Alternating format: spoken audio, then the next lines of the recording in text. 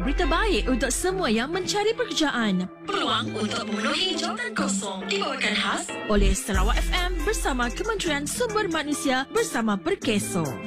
Di Kuching Asli Agrotech Kuching mempelawa penduduk tempatan untuk mengisi 30 kekosongan sebagai pekerja am dalam sektor peladangan getah di Lunduk gaji RM1,500 sebulan. Nivea Food Reflexology Sdn Berhad Kuching mempelawa penduduk tempatan untuk mengisi 5 kekosongan sebagai ahli terapi dalam sektor perkhidmatan reflexology di Kuching gaji RM1,800 sebulan. Dumas Holdings Sdn Berhad Kuching mempelawa penduduk tempatan untuk mengisi 40 kekosongan sebagai pengendali penggulung tayar dalam sektor sektor pembinaan jalan di Kuching gaji RM3,500 sebulan. Yun Ming Wood Industries dan Rohat Kuching mempelawa penduduk tempatan untuk mengisi 30 kekosongan sebagai pekerja am dalam sektor pembuatan perabot di Kuching gaji RM1,500 sebulan. NPL Engineering dan Rohat Kuching mempelawa penduduk tempatan untuk mengisi pelbagai kekosongan dalam sektor perkhidmatan di Kuching gaji RM1,600 sebulan. Hub Chen Hiat Sate House Kuching mempelawa penduduk tempatan untuk mengisi 15 kekosongan sebagai pekerja am dalam sektor perkhidmatan restoran di Kuching gaji RM1,500 sebulan. Jawatan kosong di Sarike. EZ Motors dan Berhad Sarike mempelawa penduduk tempatan untuk mengisi pelbagai kekosongan dalam sektor perkhidmatan bengkel kenderaan di Bintango gaji RM1,500 hingga RM1,950 sebulan.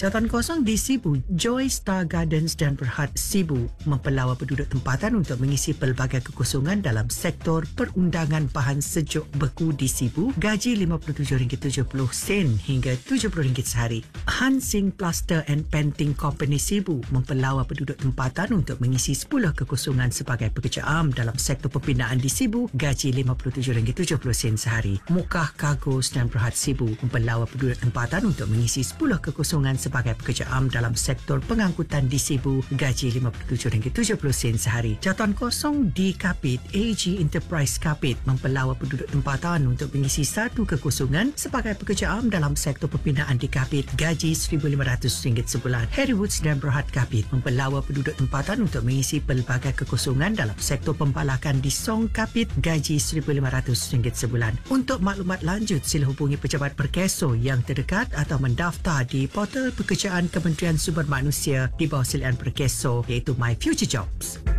Berita baik untuk semua yang mencari pekerjaan. Peluang untuk memenuhi jawatan kosong dibawakan khas oleh Sarawak FM bersama Kementerian Sumber Manusia bersama Perkeso.